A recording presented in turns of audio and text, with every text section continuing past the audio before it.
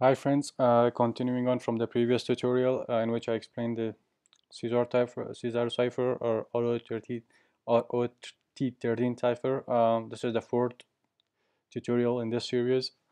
So let's look at the previous one. So in here we saw that uh, we had a problem with running this thing because whenever if we type in Python 3 Rot 13 demo. So the problem with this was that if you typed in a string like ABC and we say it shifted by let's say 10, it worked.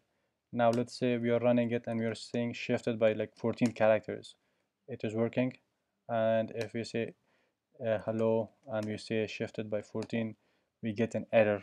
So the thing is that whenever we get past the 26, like there are 26 characters in here, A to Z, so whenever we get past the 20, uh, 26th character, we get an error.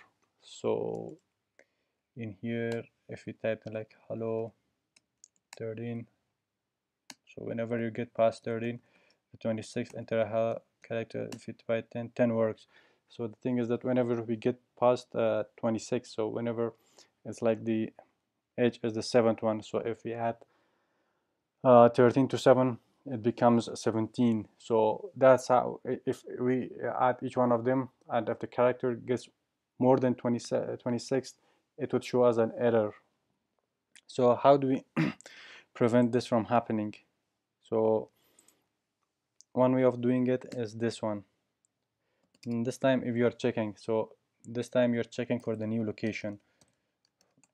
So in here you're saying that uh, the new location variable which holds the location of the variable of the or the character after it has been increased or incremented. So let's say if we have a and we are shift trying to shift it by three characters the new location would be four because a is at uh, one and then d is by at fourth fourth one. So or in the computer parlance or in the computer terms it is zero a is at zero and if we add three to it it becomes three so let's say uh, what happens if uh, uh, as we saw previously, if it gets more than uh, 26, it shows us an error. So in this one, we are saying that if we are using an if statement and saying that if it is the new location is greater than 26 or equal to 26, what you do is that you use new location and then you minus it from it the um, number 26. So this way, if the number is what you're typing, if the new location it is greater than than 26 then what it does is uh, it reduces it or deducts it uh, by uh, 26 so let's say you are typing an h and you are adding uh, let's say 22 to it. So h is a 7 character. So 7 plus 22 it becomes 29 so 29 is greater than or greater than uh, 26 so what it does is it reduces 26 from it. So th uh, this way no matter what you type uh, it will just deduct it uh, by 26 so this is one way of doing it. It's not a good way or the correct way of doing it uh, that the correct way of doing it uh, or should I say the way that is more modular or that I will explain in the next tutorial. So this is I'm just demonstrating it. This is one way of doing it so if we save it and we we run this let's say clear and we say python mm, sorry rot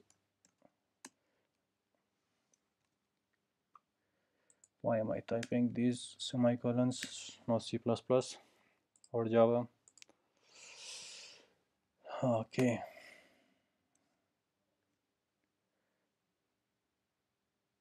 if new location is greater than or equal to I am I forgot this uh, let's run this this time it shouldn't be an error. So previously when we typed in like 14 15 it showed us an error. However this time it does it because if we get more than uh, let's say if we get more than uh, the character 26 it just reduces 26 to it. So if we type in like um, let's say hello and we type in like 20 what it does is that it rounds it off. It reduces it, it deducts it uh, by 26 so if we have character like L L is I think at 26 uh, at the 12th character. So if you add uh, if you add uh, L is at the 12th character and if we add like we are shifting it by 20 so it becomes 32 so what it does is it uh, when we say that if this statement in here this, if statement it said that um, if it is greater than 26 what you do is you minus it by 26 so now if you minus it by 26 32 minus 26 is 6 which is f. And here you can see that hello this third one l and here it is f. So this is how it works guys. Uh, however there is a problem with this one so if we type in this hello and we do it by 25 it is good. But uh, if we run it by 26 it just shows us the same string. And another problem is that uh, if we type in hello and we say do it by let's say 44 it shows us an error. So now how do we get rid of this error? How do we uh, what should I say how do we make this program so that no matter what value the user enters like 500 1000 we don't get error? Uh, I will be explaining that um, in the next tutorial.